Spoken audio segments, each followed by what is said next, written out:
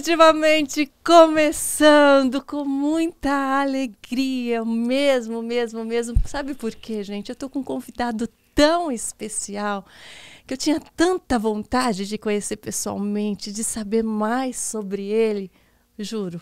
Olha, ele é pequenininho, mas é um grande homem já que faz grandes coisas. Verdade. É um pregador da palavra desde muito cedo e olha, que ele só tem 12 anos. Com vocês, Vitor Ota! É.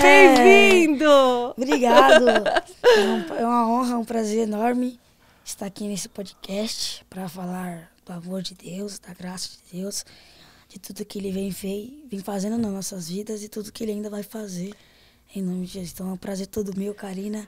Saiba que isso aqui, é a, a palavra que resume hoje é a palavra gratidão. Gratidão pela sua vida, gratidão pela sua oportunidade, gratidão pelo nosso Senhor, gratidão por tudo. Eu tenho certeza que nossas vidas serão transformadas a partir de hoje e que nossas mentes serão abertas, nossos corações serão cheios do amor de Cristo mais do que já é. Vitor, eu falo que você inspira tantas pessoas desde tão cedo. E eu tinha muita curiosidade, muito assim, de, de fazer essas perguntas para uhum. você. Me desculpa se eu vou te encher de perguntas. Não, não. Mas a primeira coisa, eu queria saber como você começou, como você foi desperto para pregar a palavra. Eu acho que isso vem do exemplo da sua família, né? Sim, é, sim. Com certeza. Não ter, mas como você foi tocado, como hoje em dia essas palavras, essa inspiração esse dom que você já tem se manifesta para tantas pessoas, mas como tudo isso se manifestou para você? Na verdade. Na verdade, eu comecei a pregar com quatro anos. Eu não sabia nem ler e nem escrever, mas eu pregava. Eu sempre acompanhava meus pais tal nas, na igreja, né? Eu via eles pregando. E a Bíblia diz que os pais são espelho dos filhos. Então, aquilo que os pais fazem, os filhos se sentem sente a vontade de fazer. Sendo bem ou sendo mal, isso, uhum. né? De qualquer jeito, isso tem que acontecer porque os pais esperam dos filhos. Só que, no meu caso, eu vi meus pais pregando e eu senti essa vontade, o desejo. E a primeira vez, na época, eu não sabia nem ler nem escrever. Então, eu falava para minha mãe, mãe, eu quero pregar sobre aquela mulher, aquele versículo lá da Bíblia. Aí ela ia na Bíblia e quando, for, quando eu ia pregar, ela lia, lia para mim, né? E você hora, começava a replicar. E é isso, e eu começava a Meio que imitar, mas isso, já sentir. Isso, uhum. isso. Então eu via, então na verdade, naquela época eu não tinha meio que um, vamos dizer, um fundamento, né, para saber o que fazer, para fazer, saber, né, como eu tenho hoje, vamos dizer assim. Naquela época eu gostava, eu via muito minha mãe pregando, então eu imitava ela, né? Uhum. E fui indo, fui indo, fui indo. E desde lá, minha primeira pregação, preguei 30 minutos. E eu ganhei duas almas para Jesus no casal, na minha primeira pregação. E o engraçado é que eu estava no congresso e é uma revelação aí, ó, que pouca gente sabe. Eu cantava corinho de fogo. Eu era daquele que cantava uma ah, hora, uma hora e meia do corinho. Você já gostava de se expressar, isso, né? Isso, E eu cantava uma hora, uma hora e meia do corinho, puxava. Na época eu tinha um cabelo no ombro. Tinha um cabelão aqui, ó. E eu ia corinho, corinho. Até que eu, né, despertei esse, esse querer pela palavra, né? Uhum. Pelo esse dom. E eu. Aí eu fui convidado para cantar numa igreja e a mulher falou assim: ó, prega hoje. Pastor, no caso do meu pai, pastor, deixa ele pregar. Aí meu pai, não, mas ele não sabe pregar, ele só canta, ele. Mas deixa ele, meu pai, não, mas ele não sabe. Aquela briga no meio do culto, sabe? E não deixa, ele não sabe. E até ele não vai deixou. E aí eu preguei 30 minutos e ganhei duas almas para Jesus e de lá faz nove anos que eu nunca parei de falar do amor de Cristo. E você já então você já era comunicativo, você já, já tinha já. o dom de, da, comunicação, da comunicação. Sim, você sim. não era uma criança tímida, vamos dizer assim. Você... Não, não. No caso, é, isso já vem da, da, minha irmãzinha, né? Que a gente completa aniversário, eu já quero desejar os parabéns. Aliás, gente, olha, ele é um filho de três, três né? Isso. Eles são três, três irmãos, irmãos, e os três já pregam. Isso, já tem um dom, já tem um. A sua irmã menor tem seis anos. Sete anos hoje. Sete, sete anos. anos. hoje. É, eu quero dizer os parabéns pra ela. Te amo, minha picheja, como eu chamo ela. Ai, que lindo. E. E o seu irmão é, maior está É o com- Davi, 14. Vai- oh, vai fazer 16. Vai fazer 16 anos.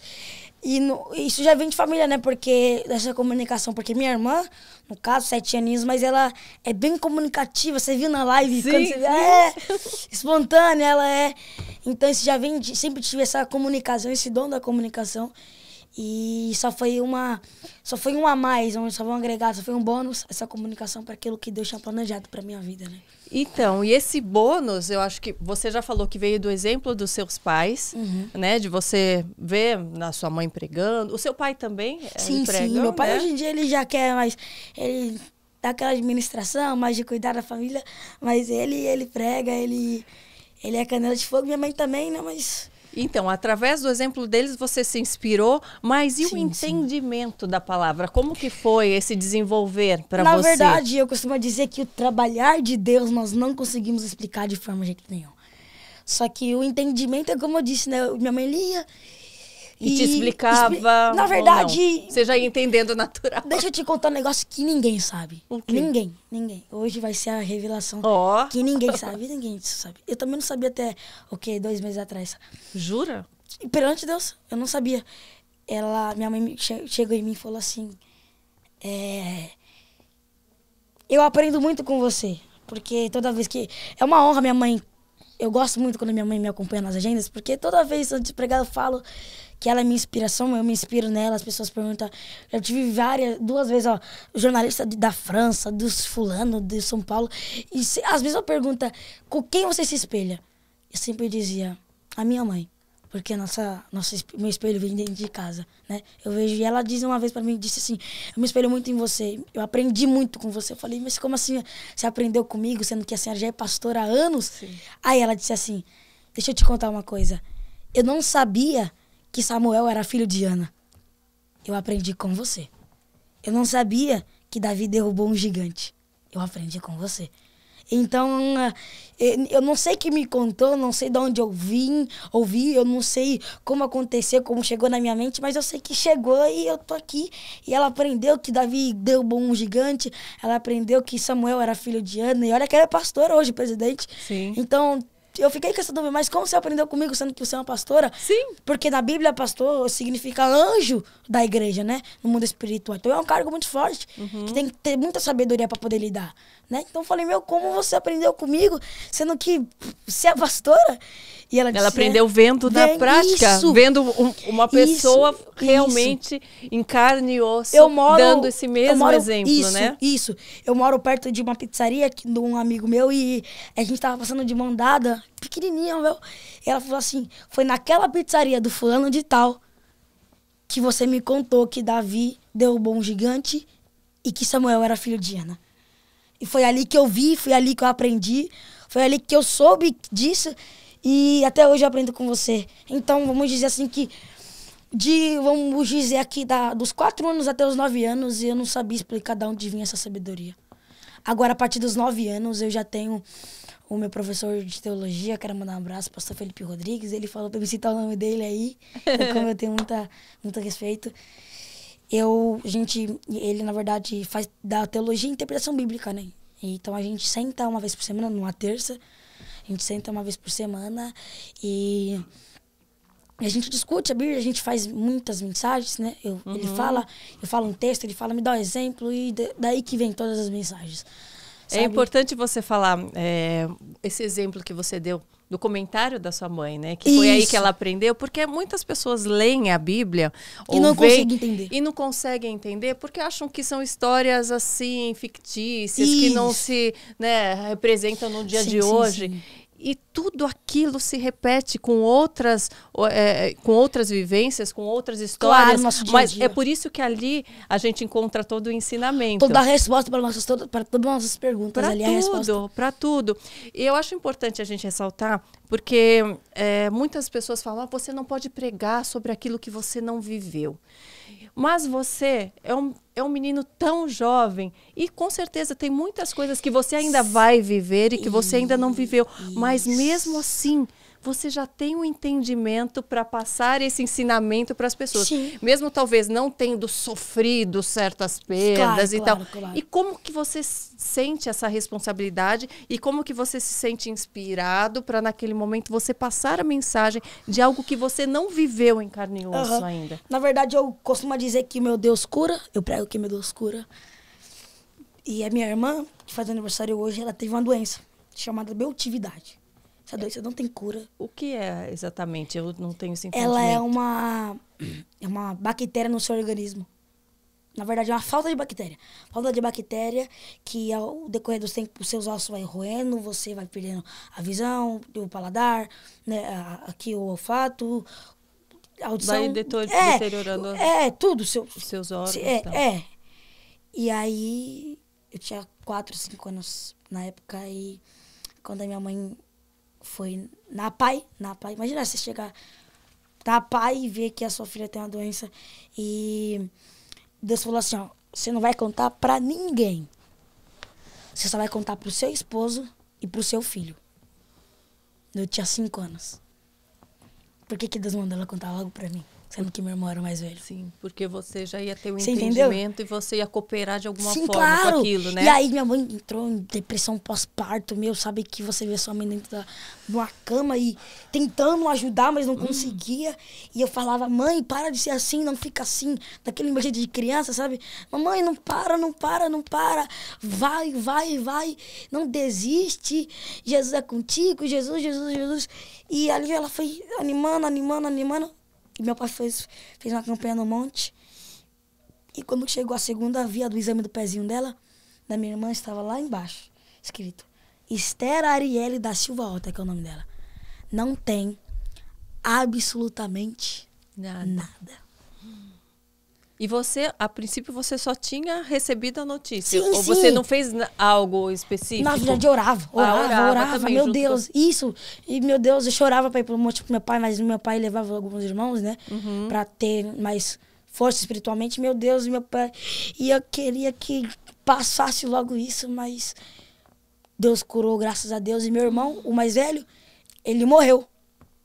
Morreu, mas através de uma oração da minha mãe, Deus trouxe a vida dele de volta. Ele Como? ressuscitou. Como foi isso? O meu irmão dormiu, meu irmão sempre foi chegado da minha avó, sempre, sempre, sempre. Meu irmão nunca dormiu com a gente. Com a minha mãe, no caso. Ele sempre dormia com a minha avó, sabe aquele apego. Sua avó morava junto com vocês? Ou Na verdade, a gente, casa próxima? a, gente morou, a gente morou um tempo com ela, mas depois, né, algumas coisas aconteceram e a gente, na, na verdade, a gente, a gente parou, a gente pegou. Mudou É, mudou, casa. mudou. E, E aí, seu irmão quis ficar com ela? Não, Ah, não? mas a gente passou quatro anos. E quatro anos ele junto, junto. E sempre quando ele era pequeno, a minha mãe saía de casa e ia pra casa da minha mãe, da minha avó. Isso aí, então sempre foi apegado. E aí minha mãe deixou ele na minha avó e ele dormiu bom. Dormiu. Dormiu bom e acordou ruim. Demais. Do nada. De, do nada. Aí minha mãe chegou no médico boliviano e falou assim, ó, dormiu bom e acordou ruim. Aí, aí ele falou assim, negligente. Minha mãe é da área, né? Que hoje ela é formada. Falou, não, ele dormiu ruim, Dormiu bom, bom. e acordou ruim. O que aconteceu? Aí ninguém sabia explicar, ninguém sabia. Internou. Internou, internou. Minha mãe orava três vezes ao dia no vário sanitário, do banheiro, lá do hospital. De manhã, de tarde, de noite. Imagina você orando. E querendo, e querendo que Deus faz e nada, e nada, e nada, e nada, e nada. Aí o médico falou assim, ó. Se tudo ficar tranquilo, se tudo estiver bom nos planos, amanhã seu filho vai pra casa. Minha mãe deu glória, aleluia, saltou, pulou, rodopiou. Sabe aquela alegria? Meia hora depois, ruim de novo. Morreu. Morreu. Morreu? Parou. Batimento cardíaco. Parou. Aí o médico veio dar notícia. Minha mãe chorando. Ele chegou aí lá da notícia Chegou. porque realmente. Chegou minha mãe e minha avó chorando. Aí o médico depois chegou e falou assim, ó. Eu não sei como falar isso, mas abraça teu filho. Porque ele tá vivo. Gente. Então, assim, e agora, então, tipo assim, a gente prega algo que a gente talvez não tenha vivido ou que a gente já viveu, mas a gente não encontra força no homem, a gente encontra a força de Deus. Ah, o quê? Tem sete meses que eu perdi minha avó pelo câncer. Então, eu perdi minha avó numa quarta-feira. Na segunda eu tive que pregar. Imagina você pregar pra 300, 400 pessoas, se, só que tá- seu coração tá partido, seu coração tá triste, porque você perdeu uma parte de você. Sim. E você, tipo, querendo não ir, porque sua Sim. carne não quer, sua carne não deixa, É. seus sentimentos não deixa, mas ao mesmo tempo que você não tem, abre aspas, força, fecha aspas, que não tem força pra você poder ir, você lembra, pô, eu tenho um chamado. Se eu não for, vidas serão perdidas. Sim. Se eu não for, deixarão de vidas serão salvas. Então, sabe que você perdeu uma pessoa ente querida e depois você tem que falar que Deus cura, falar que Deus É. faz e E por mais Sabe? que a gente, né, que é temente a Deus, que Sim, sim. né, a gente sabe que as pessoas que aceitam Jesus, que aceitam a palavra, elas estão indo para a vida eterna. Por mais que a gente tenha esse entendimento, o nosso outro lado, né, humano, o, a- É. o lado carne. o lado da carne, ele sente falta daquele ente querido que você quer aquele abraço físico que você se acostumou a conviver, a ter aquela troca, né? E a minha mãe sempre dizia, ela sempre diz: "Ah, mas ela tá no céu. Eu sei que ela tá no céu. Eu sei porque minha avó tá no céu. Eu sei. Se minha avó não foi pro céu, ninguém vai. Porque ela passou pelo do, por dois câncer. Sete anos, só por isso não. Agora pergunta pra mim, Karina. Quando que durante esses sete, no- até dez anos, quando que do câncer ela deixou de ir pra igreja? Nunca. Nunca. É o câncer batendo com o coração quase parando e ela adorando. É. Adorando. Adorando. Então você sabe que você sente falta da carne, de você dar um abraço na pessoa que você ama. Só que hoje você não tem mais. É. Hoje você querer, mas você não tem. E o que, que você faz? Questiona ou você adora? É. Adoro, Você né? desiste por conta de uma perca ou você des- é, decide falar, não, eu vou. Eu vou porque eu fui chamado para fazer isso. Sim. E eu creio que naquele grande dia eu en- encontrarei ela. Sabe? Então, a gente tem que ter isso, só que a gente. Por que, que as pessoas não. A gente não. as- a gente perde, mas ainda adora, a gente perde, mas ainda prega, a gente perde. Porque a gente sabe que o nosso alvo é o céu. A gente faz isso pra Deus. E nada que nós fizemos pra Deus pode pagar aquilo que ele fez pela gente. Deu seu único filho.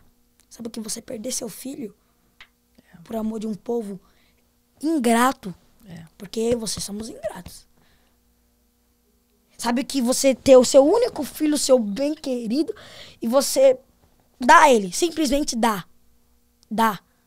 Para um povo ingrato, É. para um povo que não quer saber.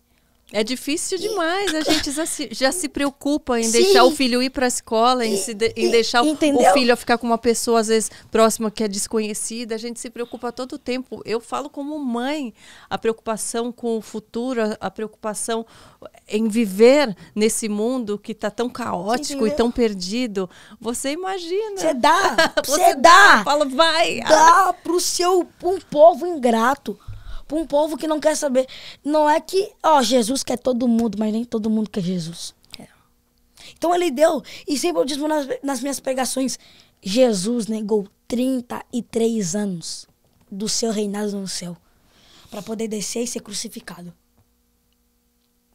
Se Ele negou, ele falou: "Não, eu vou, porque Porque essa é a minha missão é aqui. minha missão, é meu propósito. Porque imagina se Jesus não tivesse morrido naquela cruz, além de eu e você não existir, imagina ele ter morrido naquela cruz se ele não tivesse. Imagina.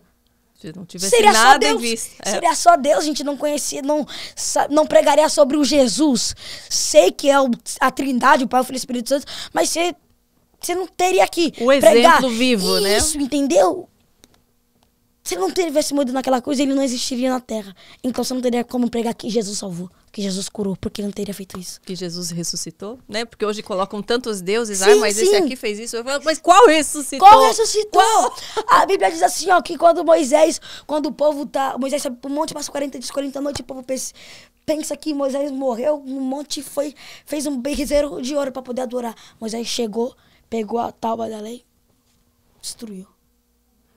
Aí Moisés falou assim, o que, que vocês fizeram? Deus te livrou de faraó, Deus te livrou do deserto, Deus te livrou do mar, do fogo, e você ainda adora outros deuses. Aí alguém disse assim, ó, mas a gente não pode dar um nome, uma cara para esse Deus? Aí Moisés disse, não. Porque tudo que nós vemos é insuficiente para explicar ele. É. É insuficiente. A, a Bíblia diz que E, quando. por- e o que a gente sente a respeito também disso é insuficiente. Não tem como Por você mais- falar, explicar o que você sente. Qualquer palavra que você tenta explicar no vocabulário da gente, a gente não encontra. Olha, e olha que você tem tantas palavras. Imagine a gente que não tem É. esse dom, a gente se sente assim sufocado, querendo Sim. transbordar, Imagina- falar, se expressar. Por isso que eu acho achar- tão lindo quem consegue. Eu juro, eu tenho uma admiração tão grande, porque eu tenho isso dentro de mim. E eu tenho vontade de me expressar mais, de expressar esse amor. Eu fico admirada por esse dom. E eu espero que cada dia Deus me dê mais essa Não, oportunidade. pode ter certeza. Deixa eu te falar um negócio, Karina. Como seu amigo, o que importa é a fé. Eu vou te contar um exemplo de ninguém. Mas a gente quer, a gente quer ganhar. Parece que né? não vai, a parece que não- quer, A gente quer alertar as pessoas, a gente quer que essas pessoas sintam o que a gente sente. É, É assim que eu me sinto. Eu sei, porque às vezes a nossa. a- a- eu costumo dizer que a gente quer mudar muitas pessoas. Mas se a própria pessoa não quiser ser mudada. É. Sabe?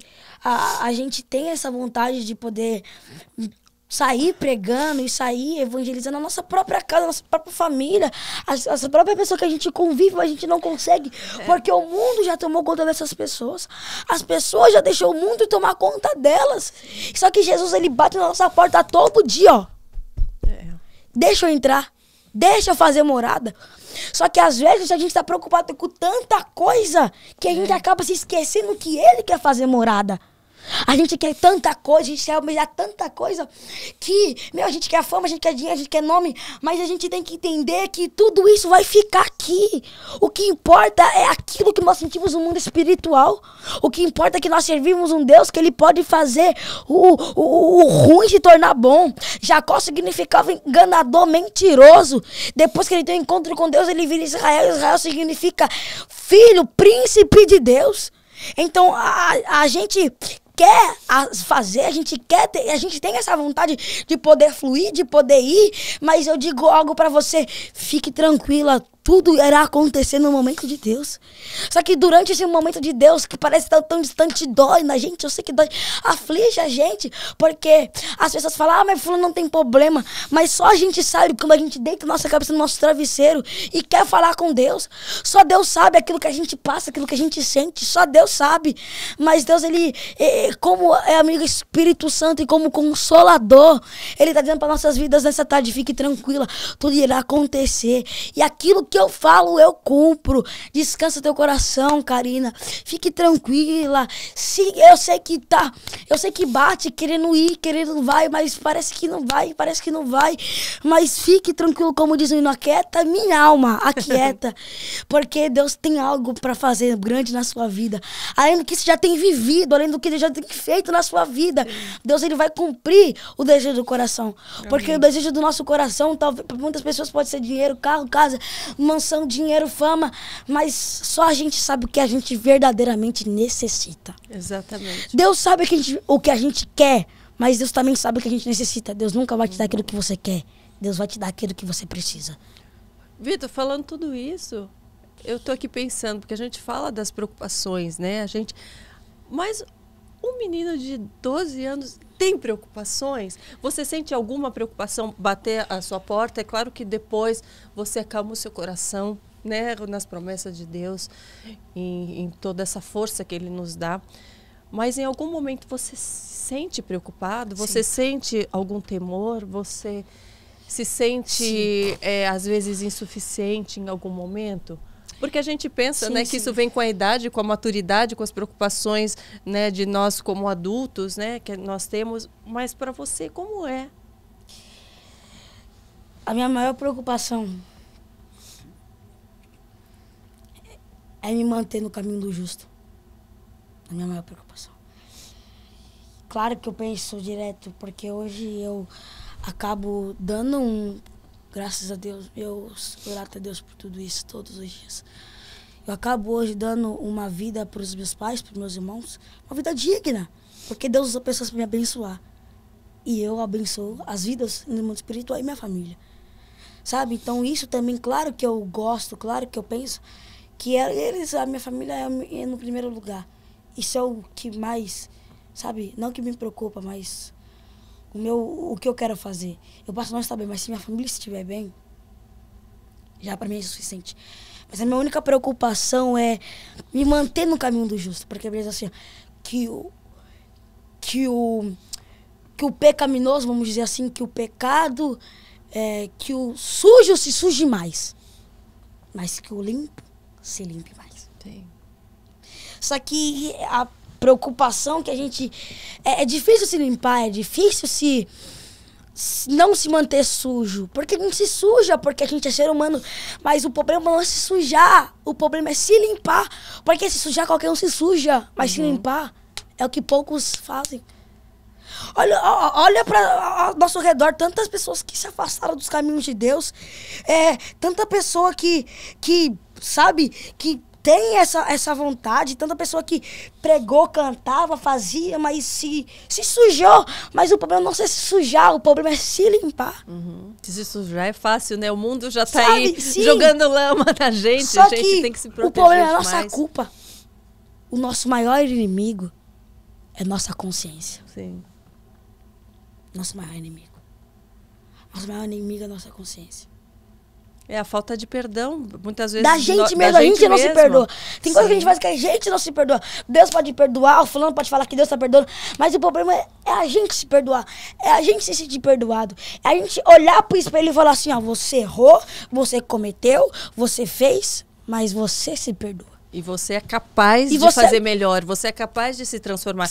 A falta de perdão, eu acredito, nada mais é do que a, a força realmente do mal querendo nos colocar para baixo, querendo com que a gente não saia da onde a gente está, com que a gente não veja a oportunidade, com que a gente não veja é, a força que Deus tem para nós. nos transformar, né? Isso mesmo. Então, o mal, quando a gente peca, eu Você já se sentiu algum momento assim Culpado. afligido, ou culpado, ou que Claro, ou, claro. ou sentindo que uma força negativa? Porque falo que quanto mais a gente recebe de Deus, mais o outro lado também Oh. tenta nos colocar para baixo. Você já sentiu essa Claro, eu força para te, des- que des- sim, te desmotivando sim, nossa, ou enfim? vezes, sabe, muitas vezes, por mais que eu seja uma criança, mas uma criança não, né? Eu não gosto que me chama de criança, né? Mas tá bom. Um adolescente. Um adolescente, né? agora, tá mais chique. Um adolescente, Adolescente. com a sabedoria e mentalidade de- que muitos adultos não têm. Detalhe, né? E eu, sei lá, eu me já senti hum, culpado, mas insatisfeito, insuficiente. Porque deixa eu te contar um negócio, Karina. A gente que trabalha com a, a obra, a gente que trabalha com, com o céu. a- eu- um dia eu tava. A no- gente também se cobra, porque a gente quer Isso, mais, a gente isso. sente que pode mais. Tá vendo? Já a tá entendendo. melhorar. já tá é? entendendo. Daqui a pouco já tá aí, ó, falando. Tem uma vez que eu tava em Brasília. Tava no Distrito Federal. Um galpão gigante, igreja lotada, lotada. E eu subi no altar, sentei na cadeira. Terminei de orar, sentei na cadeira. E eu vendo aquelas pessoas e Deus. Jesus sentou. O Espírito Santo sentou do meu lado. E ele perguntou assim pra mim apontou assim as pessoas e disse assim: O que é isso pra você? Como você sente o Espírito Santo do seu lado? É uma energia? É aquela dentro, inspiração é que vem que você dentro. não sabe É da aqui onde? dentro, É no é aqui coração? dentro. porque cada um sente de uma forma É aqui impressionante. dentro. Eu, eu tenho muitos vídeos, abre aspas, revelando, né? Que Deus mesmo vai falar com as pessoas, fecha aspas. E no Espírito Santo, ele fala no meu coração, fala pra tal pessoa que isso tal está acontecendo, mas em tal dia, que tal mês, do tal ano vai acontecer tal coisa. Aconteceu e eu falo acontece. Então isso é no coração, sabe? Então, como eu ia dizendo, ah, o Espírito Santo perguntou assim pra mim, o que, que é isso pra você? Aí eu fiquei pensando. Falei, misericórdia, e agora? Se eu falar alguma coisa errada? É o Espírito Santo, tô falando pra minha mãe nem pro meu pai, é o Espírito Santo. O que, que eu vou falar? Eu fiquei pensando, pensando, pensando na resposta perfeita. Até que eu me lembrei da pesca maravilhosa de Simão Pedro. Eu não me lembrei da história, só me lembrei de Simão Pedro. Aí eu disse assim, ó, isso pra mim é uma pesca. Eu sou pescador. A palavra é o barco. E as pessoas que estão perdidas são os peixes. E eu vim aqui pescar pessoas que estão perdidas. Isso é uma pesca. Porque às vezes que nós somos pescadores de almas. É o que a gente mais. É, é, é, é o nosso fundamento, nosso objetivo é buscar almas. Sabe? Então eu falei, Deus, isso aqui é uma pesca para mim. E no dia foi mais de 30 almas. Sabe? Se já estava pregando no congresso, foi mais de 50 almas. Por quê? Porque isso é uma pesca para mim. E quando, quando, na forma de um pescador, quando o pescador não consegue pescar peixe, ele se frustra. É a mesma coisa que eu me frustro. É. Porque parece que é uma missão incompleta. Parece que você teve uma missão, mas você não conseguiu cumprir porque tu não pescou, porque tu não pegou peixe. Sim. E deixa eu te contar. Falando isso de peixe, eu vou contar uma história bem rápida. Tinha um pescador. Esse pescador estava no seu barco. Essa história me mudou muito. Ela me fez aprender muito. Ele estava no, no barco. Ele pegou sua, sua vara, né? Sua rede, no caso. Pegou e jogou. Pegou um peixe grande. Grande, grande.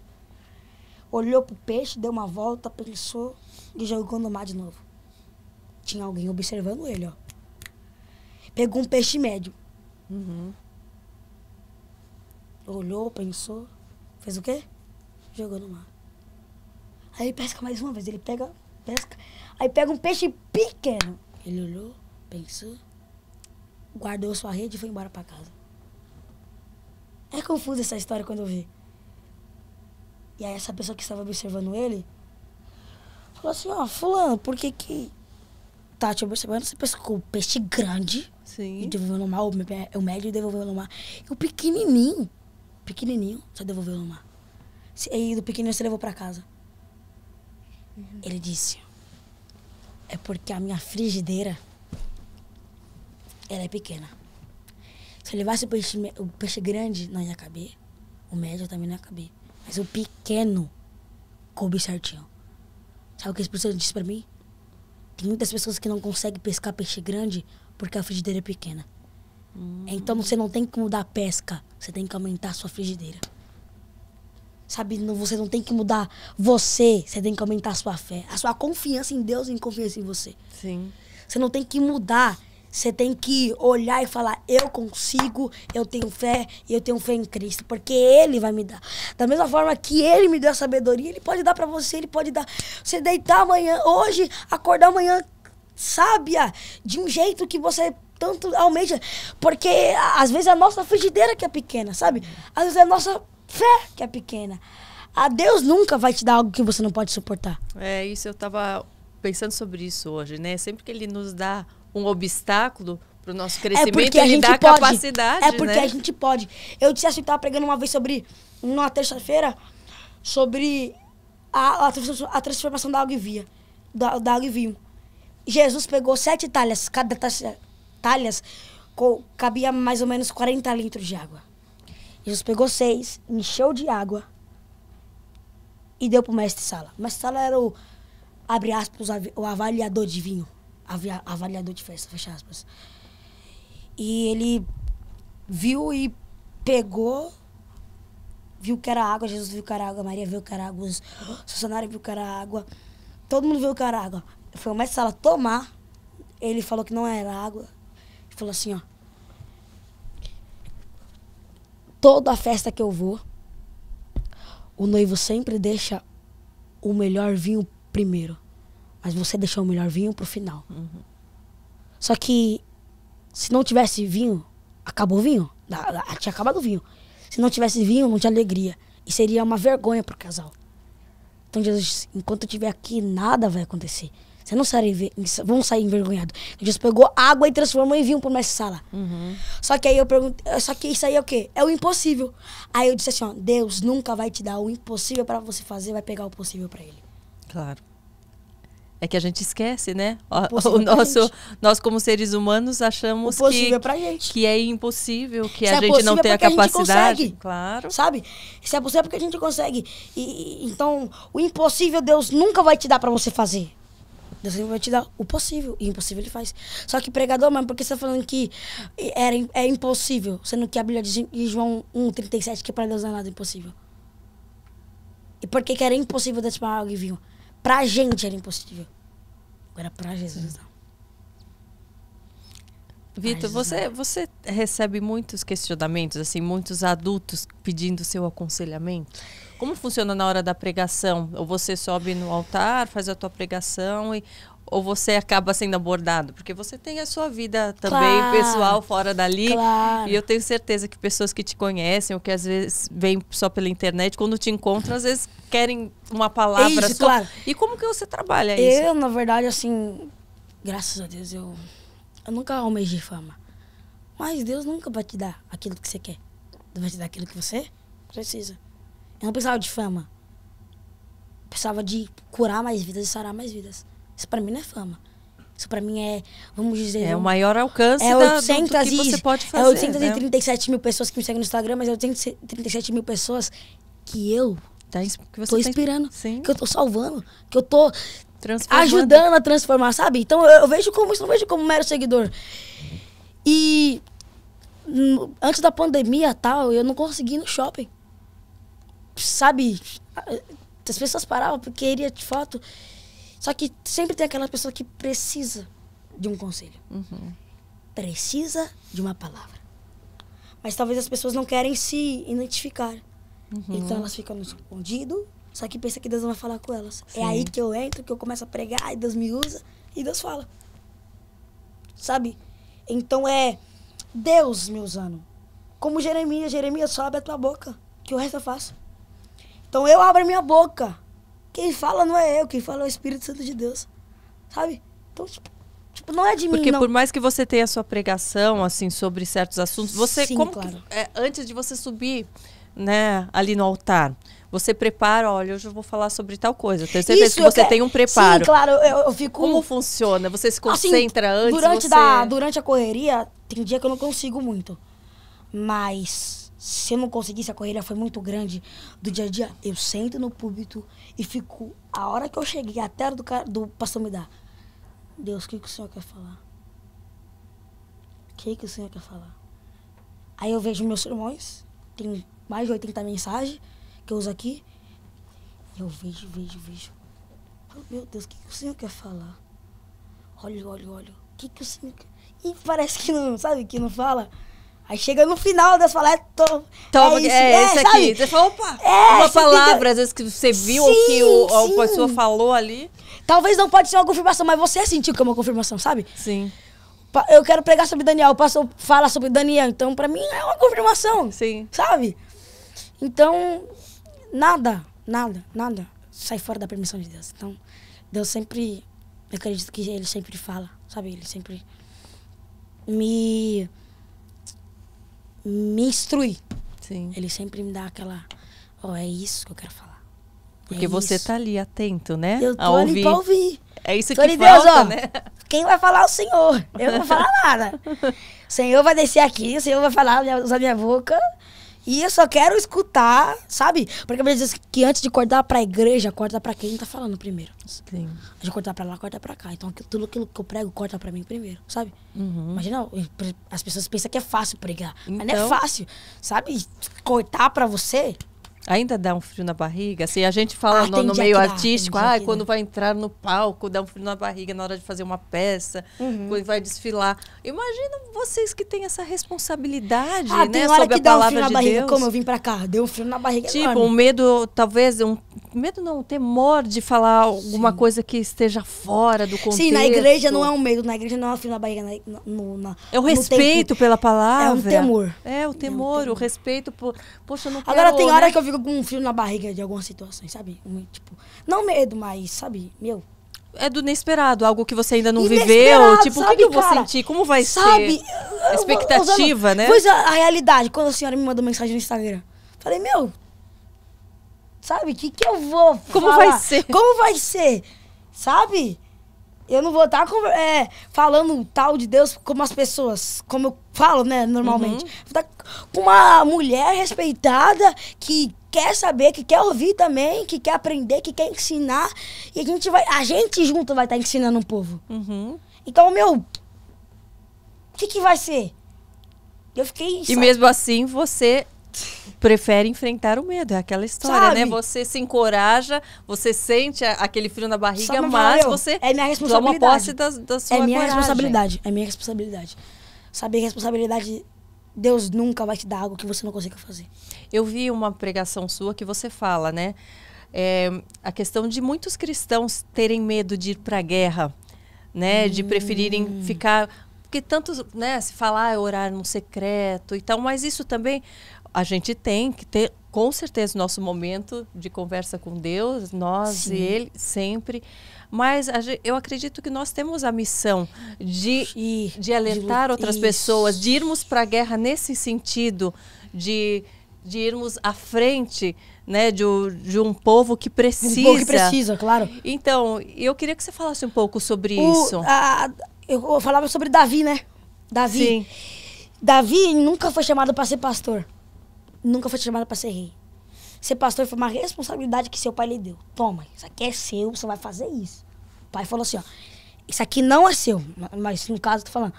As ovelhas não eram de Davi, as ovelhas do pai de Davi. Ó, as ovelhas é minha, mas quem vai cuidar é você. Trata como se fosse sua. Dá a vida por elas. Responsabilidade que o pai deu. Ser rei foi um reconhecimento do seu trabalho, porque todo trabalho gera um reconhecimento Uhum. certo? Agora, ser guerreiro. Deus chamou Davi para ser guerreiro. Porque da- tem o salmo que diz assim, ó. Saul matou milhares. Mas Davi matou 10 milhares. Era o chamado de Davi. Por isso que Deus não deixou ele construir o templo, porque as mãos dele estavam sujas de sangue. Só que era o chamado dele. Sabe? Era aquilo que Deus foi, chamou ele para fazer. Só que a Bíblia diz que ele peca contra, contra com, com a mulher de Urias. Ele peca fica pequei, aí queria tampar, colocar um tampão no pecado. Certo? Mas aí por que, que ele pecou? Porque ele ficou com a mente vazia. E mente vazia é a oficina do diabo. Se- o Davi foi chamado para ir pra guerra no dia. Davi ia pra guerra, ele desistiu. Ele, Mente vazia de Preferiu- coisa boa, porque tem gente também que enche a mente de, de, pensa- Coisa- de coisa ruim. coisa ruim, Às vezes a mente claro, tá é. cheia, mas também tá, Tá sendo ruim. oficina. tá cheia de coisa ruim, é a mesma coisa de dar vazia, né? É? Sabe? Tá vazio de, de Deus, vazio de coisa É, de boa. Sabe? Então, assim, Davi, ele ia pra guerra no dia. Davi foi chamado pra ir pra guerra. Davi foi convocado pra ir pra guerra, mas não quis. Então, quando eu você não vai pra guerra, a gente, a gente pega contra o Senhor. A gente fica com a mente vazia, mente vazia, oficina do diabo. Então, Deus diz a Davi, não quer pecar? Davi, eu não te chamei pra você ficar em casa. Não te chamei pra você ficar no seu palácio. Eu te chamei pra você pegar a sua espada e ir pra guerra. Era o chamado. Sim. Sabe, Davi tinha um chamado de ir e guerrear. Como Noé, Noé, ele era o único justo. Saber que uma nação no mundo inteiro, você ser o único justo. É. E Deus disse assim, ó, Moisés, Moisés, Noé, vai. E não importa o tamanho da luta. Eu falo que às vezes a nós temos né, a capacidade de falar para mais pessoas através você, né, do, Sim. do, do seu exemplo, através das redes sociais. Hoje em dia a gente tem mais poder de alcance, mas as pessoas que não têm, elas têm oportunidade para a guerra Sim, ali no ciclo de claro, amizade isso. delas, no momento que ela vai pegar um ônibus, no momento em que ela está ali no trabalho dela, ela pode dar uma palavra, ela vai dar um exemplo que vai modificar, que vai transformar vidas. Ela então todo mundo tem a oportunidade de ir para a guerra e de ser um vencedor e de encontrar ali um propósito na vida. Tantas pessoas perdidas, eu não tenho um propósito, eu não sei o que eu vim fazer nesse mundo, que é propósito m- melhor, melhor, mais digno, verdade, mais maravilhoso Aí, do ó. que sentir a presença de Deus Tá e falar já, da tá presença de. Deus. É lindo, é lindo. Esse é o propósito maior. Eu falo que eu encontrei um, um propósito na vida quando eu passei a ser mãe, quando eu me realizei como mãe, mas encontrei um propósito maior e mais importante quando eu me encontrei É com com Deus, quando eu, quando eu senti a presença de Deus, quando eu senti que era aí. Que era isso. Que era isso mais digno, mais importante ainda. Que se eu tivesse isso, eu iria ser uma boa mãe, eu iria ser uma boa profissional, eu iria ser uma boa filha, eu iria que- querer ser uma pessoa melhor a cada dia. Esse é o meu grande propósito. Esse é o maior isso. propósito que a gente pode viver em nossas vidas, É né? isso mesmo, como no, dizia, não, não era o único justo, era o único. E Deus falou assim, Noé, vai pregar pro povo. Sai falando. Sai. A guerra de Noé era sair falando. E você sabe que eu sabe como eu conheci você, como eu, ouvi falar de você pela primeira, Ah, pela primeira vez? Com a, minha funcionária, para você ver que ela é uma, uma, uma serva do. Senhor. Que mocinha que, que cuida da minha casa, e ela falou: Você já ouviu falar? Tem um menino, um pregador, que é a coisa mais linda de ver. Então, você vê, ela não tem um alcance para milhões de seguidores. Claro. E através dela eu conheci você e hoje eu tô aqui passando para tantas Isso, pessoas que estão ouvindo. Então, ela fez algo grande, Grande. só de falar de Porque ela você nem, pra nem mim. imaginava que seria algo tão grande, né? Então, então, todo mundo tem essa oportunidade, Verdade. né? Só que eu queria fazer uma pergunta pra todos, todo mundo. Qual que tem sido a nossa guerra? Qual que tem sido a nossa peleja do dia a dia? Porque se você não tem um objetivo, você não tem força. Uhum. Ah, tô indo. Pra onde? Pra onde? É, tá fazendo o quê? A fazer o sim, quê? Correndo, correndo, querendo alcançar, não Correndo porque tá com onde. pressa. Tá com pressa pra fazer o quê? É, Sabe? Tem que ter um objetivo. Só que todo objetivo traz uma guerra pra gente. Aham, com certeza. Ainda mais a salvação.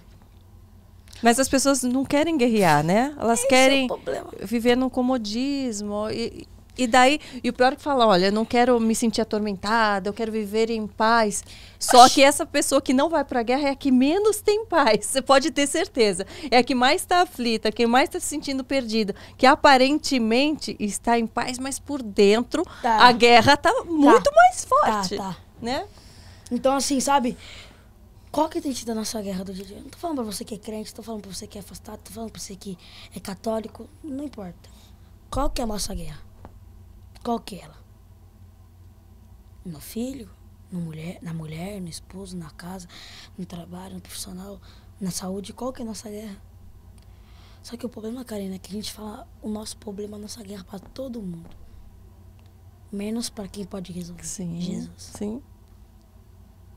Sabe aquelas mulheres que tem um problema dentro de casa, sai contando pra vizinhança toda? Sim. Fulano, não sei o que. Você viu minha menina, minha casa. Só que Jesus tá do lado querendo resolver, mas. Sim. E essas pessoas contam, falam, mas não resolvem. É. Sabe? Não buscam em Deus a resposta, Sabe? né? E Deus é a nossa resposta para tudo. Para todas as nossas perguntas.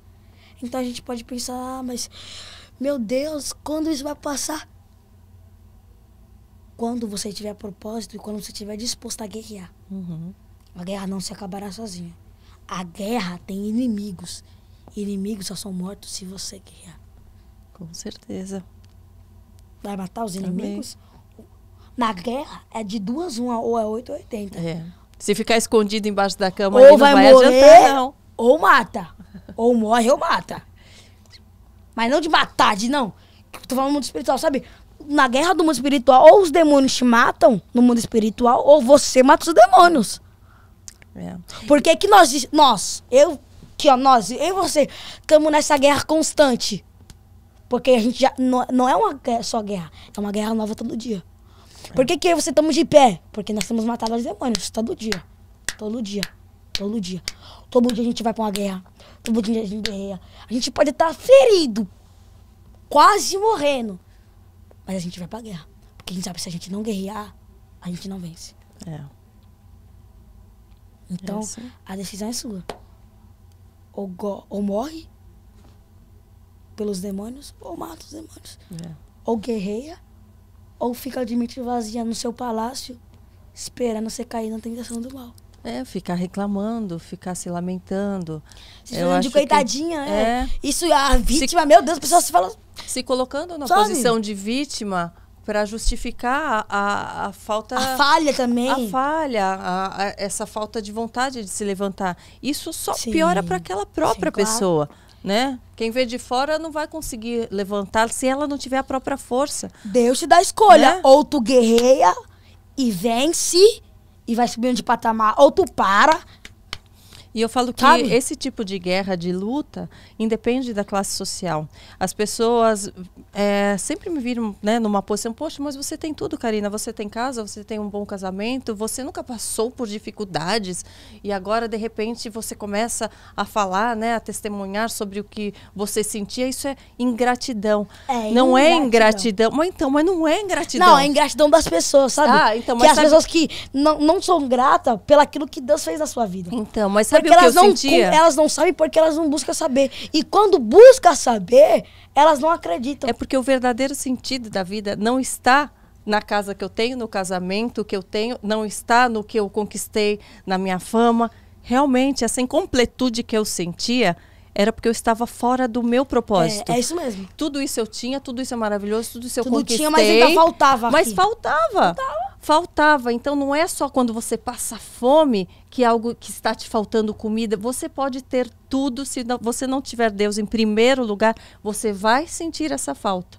Você vai sentir essa incompletude. Foi assim que eu me Isso. senti e hoje, sabendo dessa missão e desse propósito e colocando Deus em primeiro lugar, é assim que eu, que eu vejo sentido Sim. na vida. É ingratidão né? das pessoas porque Deus fez na sua vida.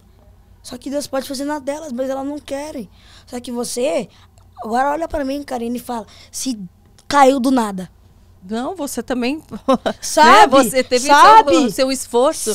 Você deixou muitas vezes de Claro. fazer uma coisa, você optou, ao invés de brincar, num Brincar, certo é momento, claro, você claro. estudar a palavra. Né? Aliás, eu queria saber, assim, você fora do momento de pregação, Pregação. fora do momento de Claro. estudo, como é sua rotina no dia a Ah, dia? eu brinco, eu falo, eu jogo videogame. e dá tempo de fazer tudo isso? Dá, oxe, que não falta é tempo pra mim. Conta um pouquinho trabalho. rotina. Você acorda, você acordou, Eu como, como acordo, começou? Primeira coisa Acordo, que você né? faz. Faço lá, Abre o olho. dentinhos, tomar um banho, aí a gente vai lá, dá os pais, né? Cumprimenta. Você ora no primeiro momento do dia? Você tem um momento que você. é, sim, eu, eu, me- Como faço, eu falo com Deus o dia todo. Eu posso estar jogando bola, tô falando com Deus aqui. Deus, ih, Deus. sabe? Ih, Deus, essa bola aí. Essa bola aqui, os caras vão me machucar, Deus, ó. Vão aqui rasgar minha canela, Deus, por favor. Me ajuda aí, envia Miguel pra pelejar por mim, sabe? Então, eu Mas falo como é sua Deus. rotina? assim? Aí eu acordo, Cê- aí eu brinco, te- pego o celular, jogo aqui um pouco, aí chamo os meninos pra jogar no celular, aí jogo uma bola, aí às vezes vou no shopping, sabe? Brinco. Sabe? A escola, Normal. como funciona? Você tá, tá Sim. sendo. Tá, Na tá verdade- online? Não tá online? Como Na que verdade tá? não tá online. Na verdade não tá online, porque a escola que eu, que eu tava faliu. Ah, e aí? E aí, Tem que esperar ano que vem ver o que vai acontecer. e- não, acho que ainda esse ano, mas o ano que vem. E aí que faliu, você sabe que parti- escola particular não é barata, sabe? Então, Ficou. faliu e aí, cadê o Cadê? tudo? reembolso? Cadê? Cadê? Entendeu? Então, assim, faliu e cadê? Aí não tem inscrição, aí para se inscrever na escola, aí tem que ter tempo. Tempo é uma coisa que é, É- é, é mui- raro. é raro lá na- com a minha mãe, com meu pai, sabe? Então tem que ficar nessa. Mas eu quero, eu quero voltar a estudar, quero, né? Mas sempre tô ali na, treinamento, E sabe? o estudo da palavra você faz todos os dias, tantas vezes por eu faço semana? Uma, uma vez por semana. Uma vez por Só semana, que quantas essa horas? uma- assim? de uma a três horas. Então, só que uma vez por semana já vale pela semana toda pra mim. Sabe? Pra mim, porque eu consigo absorver muito, sabe? E a gente vai marcar um dia pra gente poder sentar, a gente se encontrar. E a gente vai. A gente, eu vou vir com a minha mãe. E a gente vai to- tomar um café e a gente vai, sabe, estudar a Bíblia. A gente vai. Sua mãe começou desde pequena Minha também ou não? pequena, Ela teve um desde- chamado desde depois? pequena, é algo que desde- vem de geração em geração? Desde pequena. Ou a- começou a partir dela? Não, desde pequena. Desde pequena minha mãe sempre teve chamado. A minha avó era crente, né, e tal. Então, veio dessa linhagem já. E aí eu tô aqui, sabe? Então, falar de Jesus é, é em direção em direção, sabe? Então, a minha avó era, tinha um chamado, minha mãe teve um chamado, eu tive um chamado. Eu acredito que meus filhos serão chamados, os meus netos serão chamados, os meus bisnetos serão Você chamados. imagina já você, Eu ter a não, sua família lá na frente? Você Eu tem. me imagino, sabe? Eu- Você imagina, você imagina já o papai, assim, eu família? imagino, mas eu não me preocupo, sabe? Ah, lógico, né? Mas- Ainda tá cedo pra se preocupar. Meu Deus. Sabe, eu sei lá, se tem que acontecer, acontecerá. Sim. Só que eu quero ter dois filhos, um casalzinho eu quero. Sabe?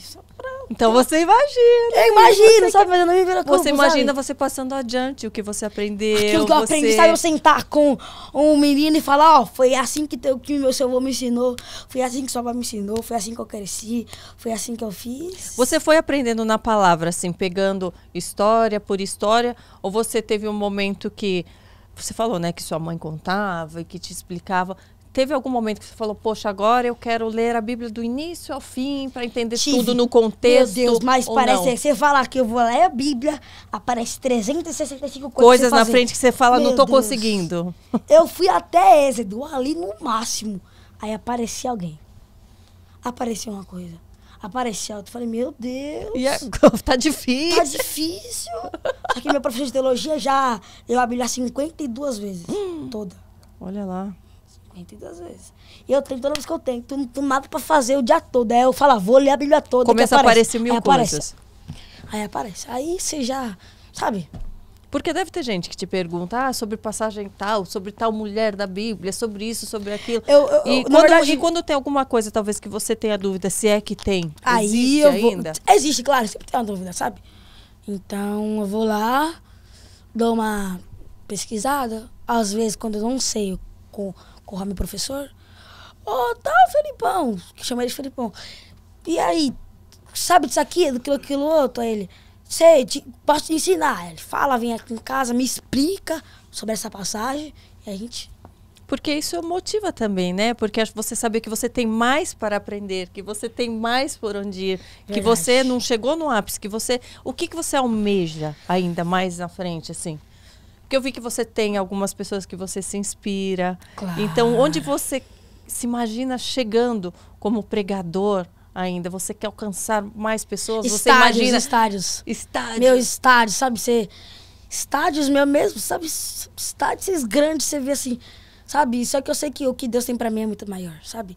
Só que é meu objetivo, só que não é o objetivo de Deus, talvez. Sabe? Talvez Deus Oh, tenha. mas se imaginar a quantidade de pessoas que te veem, que te assistem Claro, já presencialmente dá e mais fora que um se você colocar aquelas pessoinhas todas que estão online Claro, num, é. num estádio virtual, já tá mais do que lotado. já tá mais que lotado. Né? Já tá mais que lotado. Se pegar meus... Mas eu acho que a sensação da troca, É, da do pre- povo, assim, do sabe? povo O povo, vibrando, ô, glória, né? sabe? Ei, Aleluia! Eu vou estar lá, hein? Olha agora, glória! Karina vai estar no camarote lá do estádio. Só- Não, tá só no. Dando glória, aleluia, agradecendo ao com Senhor. você lá, ó. Oxi, pode ter certeza. Sabe? Então, ah, talvez eu sei que o que Deus tem pra mim é maior. E ainda mais que a gente começou essa nova, essa nova fase da minha vida, junto com a gravadora Benter Records do Silas. Qual é essa nova fase? Conta pra Ah! Ah, esse porque- pode contar? Pode, claro. Então conta. Claro, eu já dei a novidade pros, pros meus seguidores, já faz um tempo, né não? E a gente fechou, né, com a gravadora Beaten Record. Você canta também? Você vai Não, cantar? Não, não. você vai Eu pregar. vou pregar, sabe? Eles vão cuidar da minha agenda. Sim. Agora meus irmãos, a gente fechou a família toda. Então agora nessa nova fase da gravadora BT família Records, abençoada, hein? É, tem a família toda na gravadora. Na gravadora BT Record foi. Silas eh, foi pessoas que Deus apresenta pra nós, a Mary. Sabe? Tem pessoas que a gente conhece, mas tem pessoas que Deus apresenta pra nós. Pessoas É. que vão, vão somar, sabe? E a gente, a gente sempre teve, manteve o contato, mas a gente nunca parou falou, não, vamos lá, vamos fechar, vamos, mas a gente sempre- sempre, o Silas sempre me amou, essa é a verdade. o Silas sempre me amou, Mary, ele sempre me amou, mas nunca teve aquela, sabe, aquele, vamos. Sim. Até que a gente- meu pai foi, foi vendo, sabe?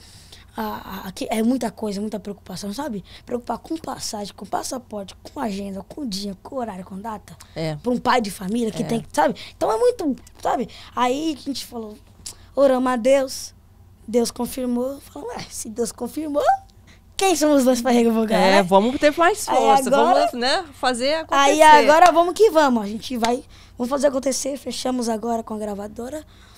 E agora, e agora só. E como vai ser, né, perante a gravadora, como que você, o que, que vai ser realizado? A gente tem muitos projetos. Projetos, ó, muitos projetos de TV, meu. É, projetos. Ah, verdade, verdade. Não tô entendendo nada, mas tá tudo bem, ó. Ó, tá tendo culto da resistência, sabe? É, projetos, sabe? Projetos que vão abalar o Brasil, que nem diz o Silas Videnco. Vai abalar, sabe? abalar, é, pesso- abalar o Brasil, sabe por quê? Tem pessoas que precisam disso, sabe? Tem pessoas que precisam de um ânimo. E tem pessoas que não têm, abre aspas, uma condição.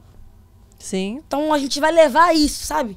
A gente quer levar, a gente tem projetos para poder fazer coisas maiores, projetos de poder levar a palavra até as pessoas. Então, meu, tem muita coisa vindo boa por aí, tem TV, ó, tem, tá tendo reality show, gospel aí, sabe? Tá, tem- vai ser uma maravilha. Gravadora BT Record já era forte, agora com o João Vitor, então vai voar. Vai abalar o Brasil! É, eu gosto desse entusiasmo. Vai É, abalar o Brasil, Brasil! é muito Entendeu? bom, é Então, muito bom. Alcançar mais e mais sim, pessoas, e né? é nosso com, foco. com objetivo, com foco em coisas boas. Se for parar pra pensar assim, né? tantas pessoas, ó, eu, a Meren, sabe, o Davi, minha mãe, todas as pessoas que a gente vai alcançar, já alcançou, ainda vai alcançar mais, sabe? Uhum. Então é o nosso maior alvo. Sabe, claro que Deus vai nos abençoar, mas nosso maior alvo é a alma, né? Você sabe que eu estava conversando com seu pai, ele comentou algo que parece que você já fez teste para uma novela. Eu tô sabendo disso, eu Ixi, quero isso saber. Aí, hein? Isso aí vai dar polêmica! Você já você tinha essa vontade de ser ator? Ou, era Eu uma, ou, ou é porque seu pai viu um talento Não, e você eu falou, quem vontade. sabe, é através, né, assim ele vai alcançar mais que- pessoas. Não era o projeto de Deus, né? Pois é, porque às vezes a gente Sim. tenta tanto, bate numa porta e fala, ai, Deus não tá eu fui na realizando os meus objetivos, mas Deus tem outros, Deus tem, né? Deus tem. Fui na agência de modelos, passei primeiro teste, segundo teste, passei. Aí eles não chamaram, porque é projeto de Deus, sabe? Deus já É. falou, não, aqui não vai mais. E aí eu fiz, uma, eu fiz o teste pra Carinha de Anjo, sabe? Do SBT. Sim, sabe? sim, sim. Fiz a, a- o teste, no caso. E aí eu ia ser, vamos dizer assim, na novela, o menino que a Dulce Maria ia gostar, vamos dizer Aham. assim, na novela. E eu tenho um contrato em casa, eu tenho, mas não chego a assinar. e você se sentiu frustrado, triste quando recebeu a Ah, notícia? fiquei. Não, mas... E depois, porque no momento eu acho que a gente Fica, não tem um queria entendimento imediato, Ser um né? ator, né? e Da Hollywood aí, já, né? Mas agora sou ator do céu. Ô, Glória! Porque muitas vezes é, a gente, como ator, a gente não, não consegue transmitir a palavra que a gente gostaria. Você às vezes poderia estar lá e, e falar consegui. sobre outras coisas que não vão de encontro ao que você É, pensa, ao que você quer isso. passar. Então é conflitante, pelo menos eu assim que eu me senti como atriz. Por isso que eu parei de atuar.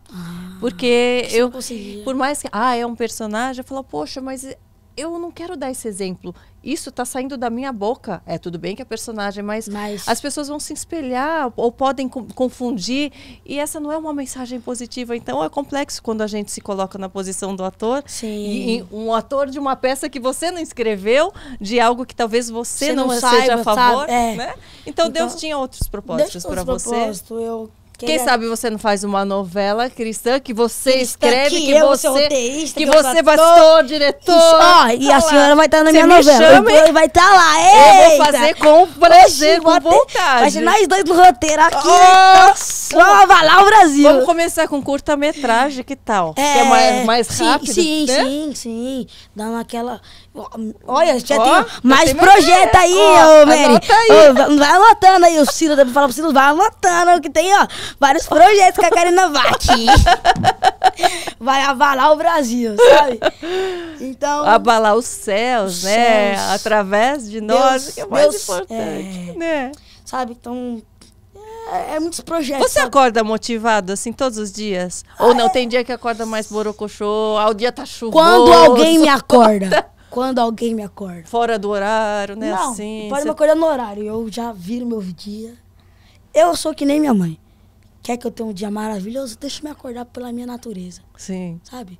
Deixa eu... Mas se a tua natureza quer dormir muito, assim, e você precisa acordar mais cedo, como funciona? Você fala, Deus, Deus, ajuda aí. Ajuda eu, aí. Eu tento dormir cedo, mas eu não consigo, gente. É? Eu tento, mas... porque hora é- você dorme, É a correria, normalmente? gente, sabe? A gente vai pro culto, chega... Eu vou pra, É, porque ó, eu acho que- Ainda é longe, vai comer. Então. Aí depois já volta, já é mais longe, já é pra voltar. Já chega em casa meia-noite. Então. Até tomar banho. Viu um sono? É. Uma hora, duas horas da manhã.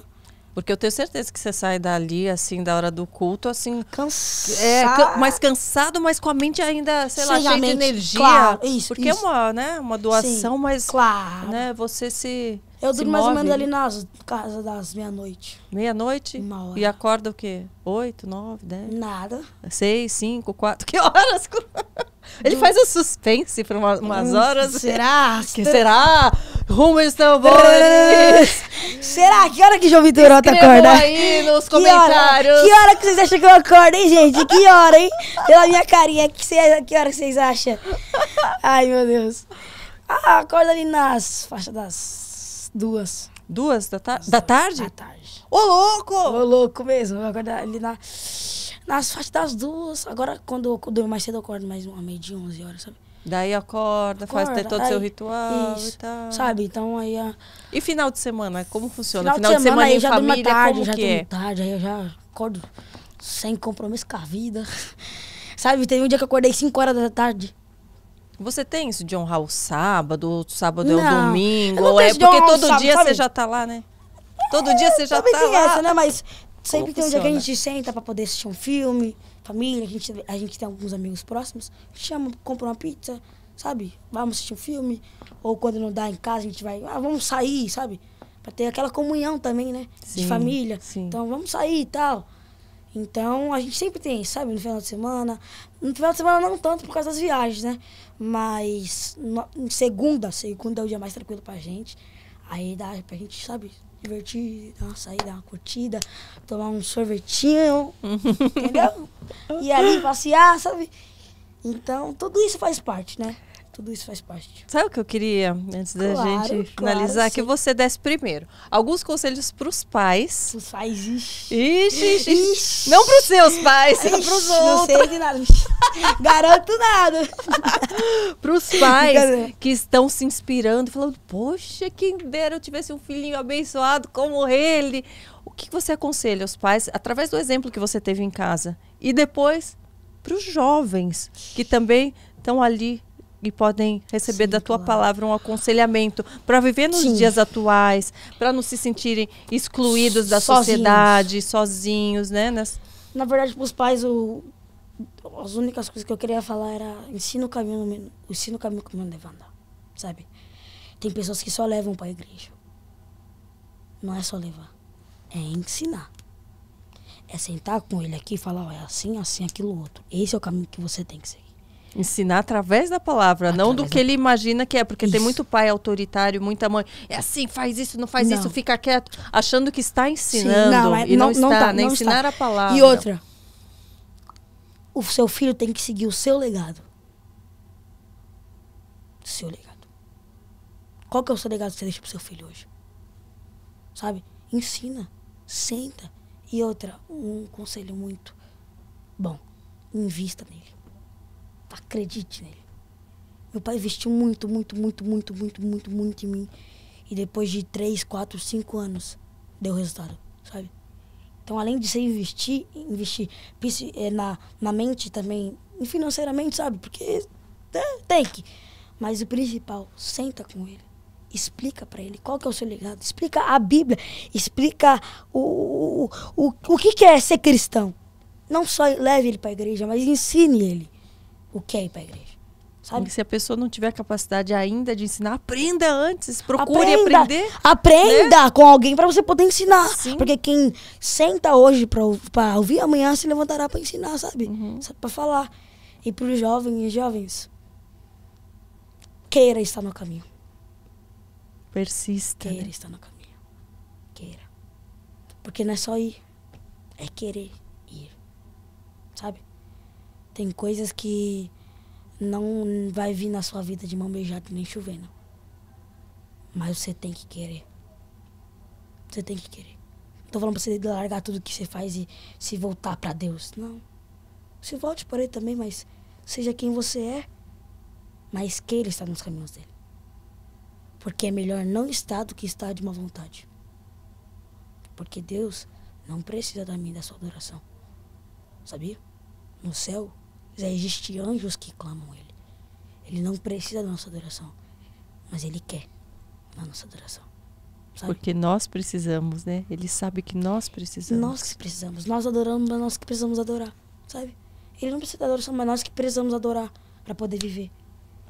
Então, tudo isso que eu disse reflete em você, pai, em você, mãe, em você, filho, em você, jovem. Você, jovem, queira estar no caminho. Pai, mãe, sente com ele. Ensine, porque é o mais importante. Porque tem pessoas que, filhos que crescem porque não teve alguém para sentar para poder ensinar. Mas ensine.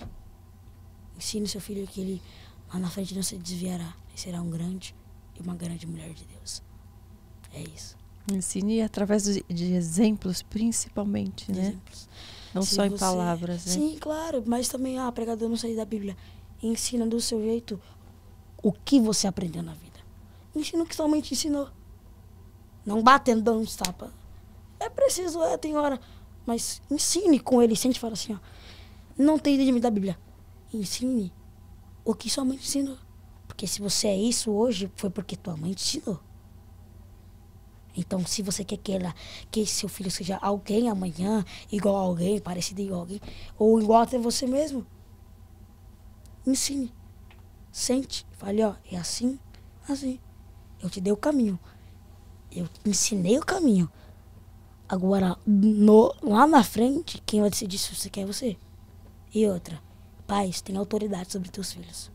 Autoridade. Seus filhos têm 12, até os seus 15 anos, leva para a igreja. Leva para a igreja. Não força. Mas fala, quer, quer tal coisa? Tem que querer estar no caminho. Sabe? Porque tem muitos hoje que está lá fora porque só ia. Sim. Mas não queria estar lá. Sabe? Só que enquanto você tiver seus filhos na sua mão, ensine e leve. Tá? Ensine e leve. Só que a partir do momento que ele falar, não quero mais, não quero, saiba que Deus vai falar, que Deus vai cobrar. E você tem que tirar a sua mão. Porque a sua parte você fez. Você ensinou, você levou, você ensinou o caminho. Agora ele decidiu não trilhar. Então quem vai as, sofrer as consequências são ele. Sabe? Então ensine. É o mais importante se fazer nessa hora, é ensinar o caminho. Hum, e, olha, falando em ensinar, quanto a gente aprendeu hoje com você, com tuas palavras, quanto a gente aprende é. convivendo com, com pessoas que edificam, com seus exemplos, com tudo que você faz para a honra e glória do Senhor. Parabéns, parabéns. Obrigada. Eu me sinto lisonjeada pelo nosso bate-papo. Eu tenho certeza que todo mundo que ouviu aqui se encheu da palavra do Senhor, se encheu desse amor, dessa sabedoria. Você já é um grande homem, um claro. grande homem. Não, Jesus. Muito obrigada por você dispor do seu tempo, da sua energia, dos teus dons, por estar aqui hoje. Eu espero que a gente se encontre mais, mais e mais vezes, pode que a gente realize coisas lindas, claro. grandes, juntos, juntos, viu? Né? Conte comigo para o que vocês Amém. precisarem. Amém. Nas orações também, ó. Se quiser, nas, nas orações, João, eu preciso de oração. Tô aqui, você tem meu zap, eu tenho o seu. Conte comigo, conte com a minha família, conte com nossas forças do mundo espiritual.